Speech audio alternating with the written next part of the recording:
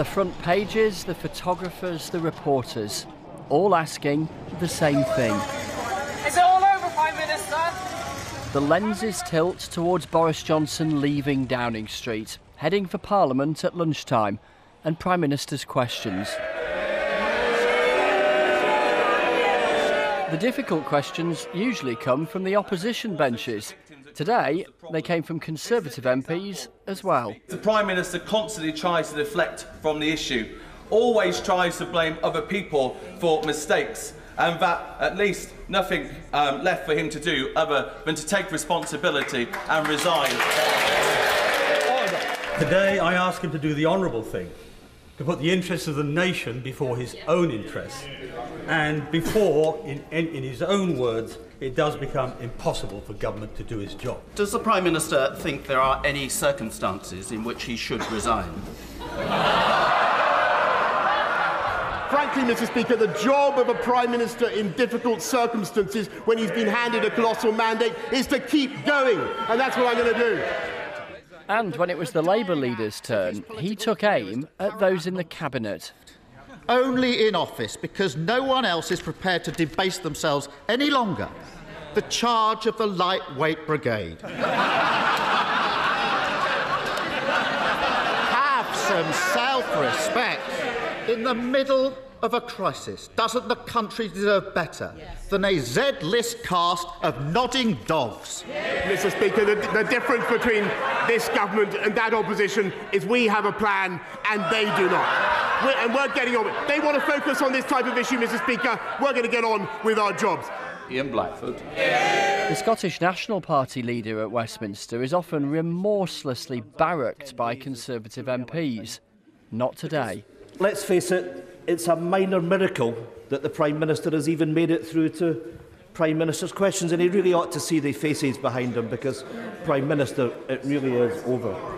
The Prime Minister is desperately clinging on to his own fantasy, but the public can't afford to put up with this farce of a government a minute longer. All day, it felt at times like every 10 minutes or so, Conservative MPs were sending letters saying the Prime Minister should go. And just take a look at the language chosen by the now former Justice Minister Victoria Atkins as she resigned.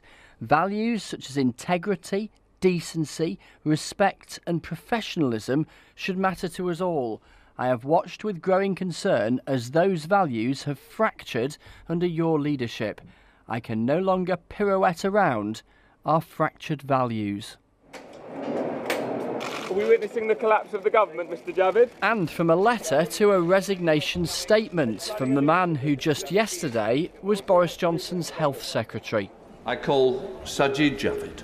Have a look at the body language of the Conservative benches as you listen to Mr Javid's words. Treading the tightrope between loyalty and integrity has become impossible in recent months. And, Mr. Speaker, I will never risk losing my integrity. And now, this week again, we have reason to question the truth and integrity of what we've all been told. And at some point, we have to conclude that enough is enough. I believe that point is now. He said he had been patient, hoping things would improve. But I do fear that the reset button can only work so many times. There's only so many times you can turn that machine on and off before you realise that something is fundamentally wrong. And then there was this a public, laser guided attack on those still in Boris Johnson's cabinet. They will have their own reasons. But it is, it is a choice. I know just how difficult that choice is. But let's be clear not doing something is an active decision.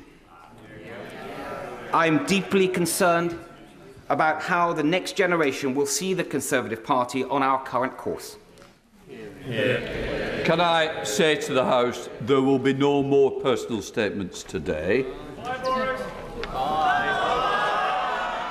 But he was back again down the corridor a few hours later, facing the liaison committee of senior backbenchers.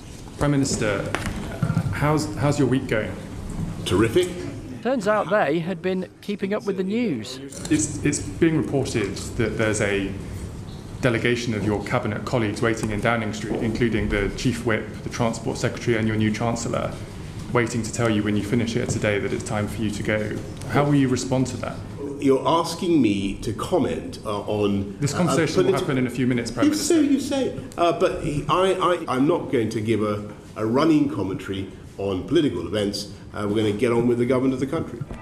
This morning, the Community Secretary Michael Gove went to see the Prime Minister to tell him he thought he should resign. In the last hour, the man who just yesterday sat around Boris Johnson's cabinet table was sacked by him, with a number 10 source describing Mr Gove as a snake.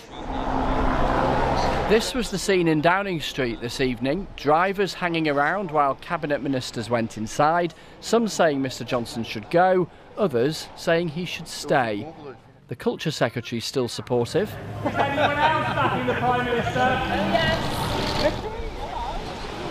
Westminster is a postcode defined by power. Today has been defined by it draining away from Boris Johnson.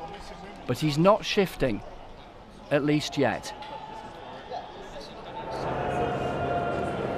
Well, back here in Downing Street tonight with uh, a pretty big crowd of protesters who've gathered uh, just outside the gates on Whitehall. Chris is still with me. Um, Chris, this note of defiance that's come through loud and clear tonight from Downing Street, but at one stage today, people were talking fairly confidently about the Prime Minister actually going. When I was talking to George on the six o'clock news, I was anticipating that there was a possibility, nothing more than that, but a possibility that within a couple of hours there might have been a lectern just behind us here with the Prime Minister preparing to come out and, and offer his resignation. And that was an, a view articulated by plenty of Conservative MPs. It hasn't happened because there is that defiance, that determination from the Prime Minister to stick around. And the argument he's making is one that he was making last night as well, and we talked about. He's saying, look, there might be 40 odd colleagues who were saying I should resign, but there were nearly 14 million people who voted for the Conservatives led by Boris Johnson at the last general election. That for him is his mandate. And what he's saying to his MPs